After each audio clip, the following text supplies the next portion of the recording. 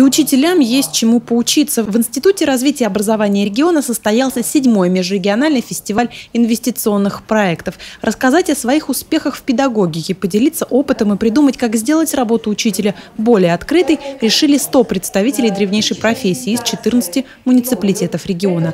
Поговорить о наболевшем собрались работники учреждений дошкольного и среднего образования. Одну школу или сад представляет группа педагогов. Их задача – презентовать выбранную ими образовательную модель или методику. Ребенку сложнее, когда он сталкивается с разнообразием методических приемов и подходов, а лучше все-таки, если а та технология, которая выбирается школой, она все-таки будет единой.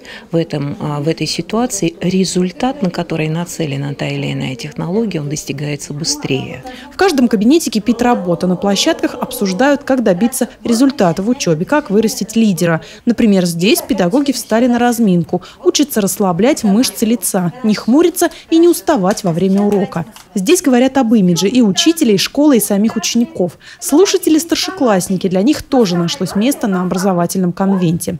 Для педагогов такие ежегодные встречи – прекрасная возможность развивать свое мастерство, учиться решать возникающие проблемы. Это модель, я думаю, что это примеры, это приемы, которые можно использовать э, и с разными учениками в разных ситуациях, и как в урочной, и во внеурочной деятельности. То есть здесь пространство очень и очень широкое и очень полезное.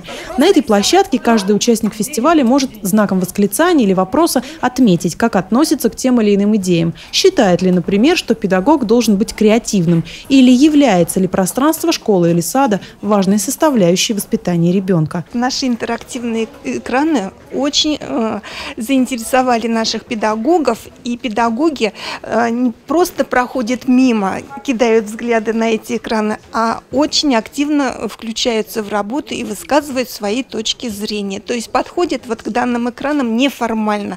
Вот. И, соответственно, можно сделать вывод, что они действительно и в работе своей такие же неформальные, а очень активные и креативные. После фестиваля учителя отправятся в свои образовательные учреждения, чтобы опробовать инновационные проекты на практике. Мария Смирнова, Денис Денисов, РТВ Иванова.